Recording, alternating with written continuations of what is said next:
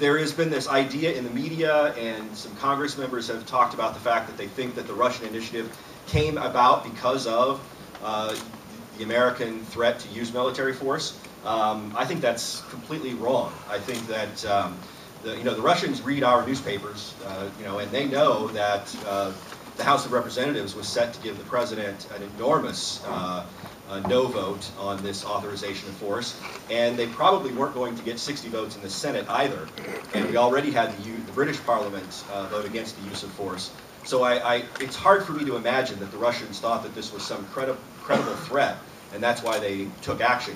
I actually think they took action because we looked very weak, and uh, they knew that uh, if they put something out on the table, we would probably take it because we needed to get ourselves out of this box. And we've taken uh, a deal here that while I'm very glad it averts military action, um, it's not a very good deal.